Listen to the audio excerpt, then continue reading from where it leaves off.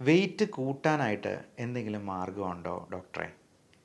കുഞ്ഞുങ്ങളാണെങ്കിൽ തീരെ ഭക്ഷണം കഴിക്കുന്നില്ല. ഒട്ടും വിശപ്പില്ല. ഫുൾ ടൈം കളിയാണ്. ഓട്ടമാണ്. ബഹളമാണ്.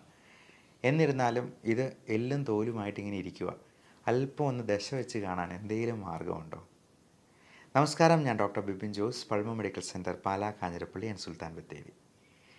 ഈ വെയിറ്റ് കുറയ്ക്കാൻ നോക്കുന്ന കുറേയധികം ആൾക്കാരുണ്ട്. എന്നാൽ നേരെ തിരിച്ച് കുട്ടികൾക്കൊക്കെ ഒരിച്ചിരി ഒന്ന് വെയിറ്റ് വെച്ച് കാണാനായിട്ട് ആഗ്രഹിക്കുന്ന ഒരുപാട് മാതാപിതാക്കളുണ്ട്.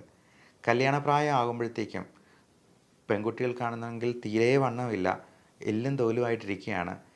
ഒരല്പം പോലും സ്തനവളർച്ചയില്ല അതുകൊണ്ട് തന്നെ കാണാൻ ഒരു അട്രാക്ഷൻ ഇല്ല എന്നൊക്കെ പറഞ്ഞ് ഒരുപാട് ആളുകൾ വരാറുണ്ട്. അപ്പോൾ അത്തരക്കാർക്ക് ഉള്ള ചില ടിപ്സാണ് ഇന്ന് ഈ വീഡിയോയിൽ പറഞ്ഞു വരുന്നത്.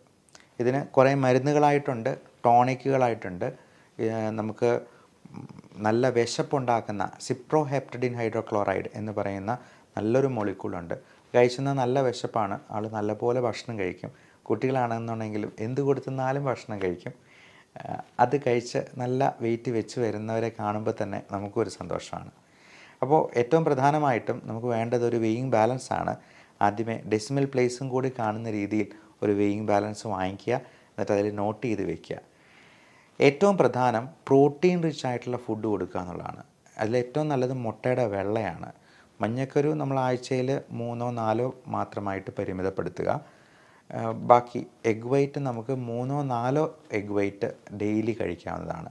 അത് കൊച്ചു കുട്ടികൾക്കാണെങ്കിൽ അവർക്ക് ഇഷ്ടമുള്ള രീതിയിൽ മുട്ട പോയിക്കോട്ടെ. മുട്ട ബുൾസൈ ആയിട്ടോ ഓംലെറ്റ് ആയിട്ടോ ഇനി മുട്ട ചിക്കി എടുത്ത് കഴിക്കുന്നതായിട്ടോ. അല്ലെങ്കിൽ അവർക്ക് ഇഷ്ടപ്പെട്ട രീതിയിൽ മുട്ട വാട്ടി കുടിക്കുകയോ അങ്ങനെ എങ്ങനെയായിരുന്നാലും ദിവസം ഒരു മൂന്ന് മുട്ടയെങ്കിലും അകത്ത് ചെല്ലുന്നുണ്ട് എന്നുള്ളത് ഉറപ്പ് വരുത്തുക.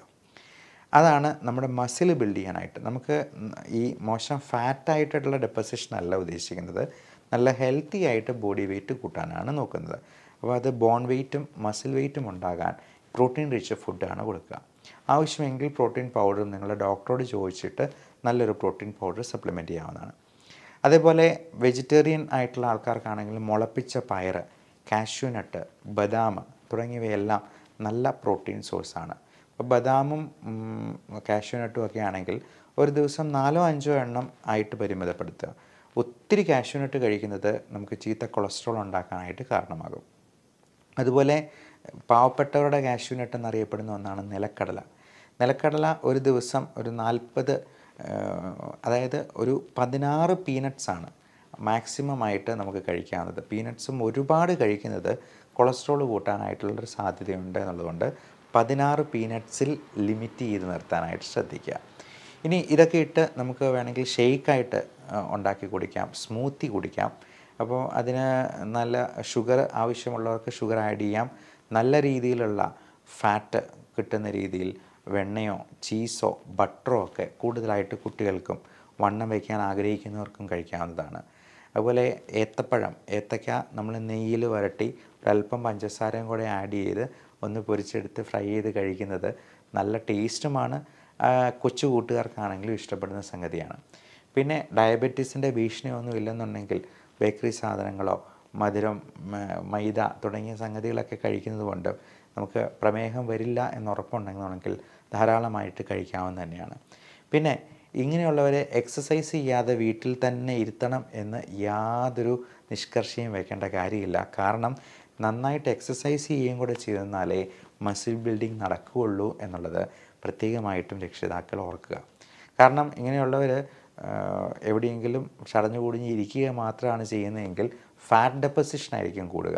നമുക്ക് അങ്ങനെയല്ല നന്നായിട്ട് കളിക്കുകയും ഓടിച്ചാടി കളിക്കുന്ന ക്രിക്കറ്റോ ഫുട്ബോളോ ബാസ്ക്കറ്റ്ബോളോ സ്വിമ്മിങ്ങോ ഒക്കെ ആണെന്നുണ്ടെങ്കിൽ അവർ നന്നായിട്ട് പൊക്കം വയ്ക്കാനും അവരുടെ body weight കൂടാനായിട്ടും bone weight bone density muscle building ഒക്കെ സംഭവിക്കാനായിട്ടും അത് സാധിക്കും എന്നുള്ളത്. അതുകൊണ്ട് മെലിഞ്ഞിരിക്കുന്നവർ ജിമ്മിൽ പോകുന്നതിനെ കളിയാക്കുമൊന്നും വേണ്ട.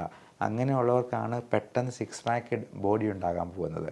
അതുപോലെ നല്ല ബൈസെപ്സും ട്രൈസെപ്സും ഷോൾഡർ വിങ്സും ഒക്കെ ഉണ്ടാക്കാനായിട്ട് മെലിഞ്ഞിരിക്കുന്നവർക്ക് ഈസി ആയിട്ട് സാധിക്കും എന്നുള്ളത്. നമ്മൾ മനസ്സിലാക്കുക. അപ്പോൾ ഈ മെലിഞ്ഞിരിക്കുന്ന അവസ്ഥയും പോസിറ്റീവായിട്ട് കണ്ടു കഴിഞ്ഞാൽ ആ വിഷമം അങ്ങ് മാറുകയും ചെയ്യും. നമുക്കതിനെ നല്ല പോസിറ്റീവ് ആക്കി എടുക്കാനായിട്ടും കഴിയും. ഇനി നമ്മൾ അൺഎക്സ്പ്ലെയിൻഡ് ആയിട്ടുള്ള വെയിറ്റ് ലോസ് എന്തെങ്കിലും ഉണ്ടോ എന്നുള്ളത് പ്രത്യേകം ഓർക്കുക. പല അസുഖങ്ങളിലും നമ്മൾ പർപ്പസ്ഫുൾ അല്ലാതെ വെയിറ്റ് ലോസ് ഉണ്ടാകുന്നുണ്ടെങ്കിൽ തീർച്ചയായിട്ടും ഡോക്ടറെ കണ്ട് ഇവാലുവേറ്റ് ചെയ്യണം. ഏറ്റവും പ്രധാനം ക്യാൻസർ പോലുള്ള അസുഖങ്ങളാണ്.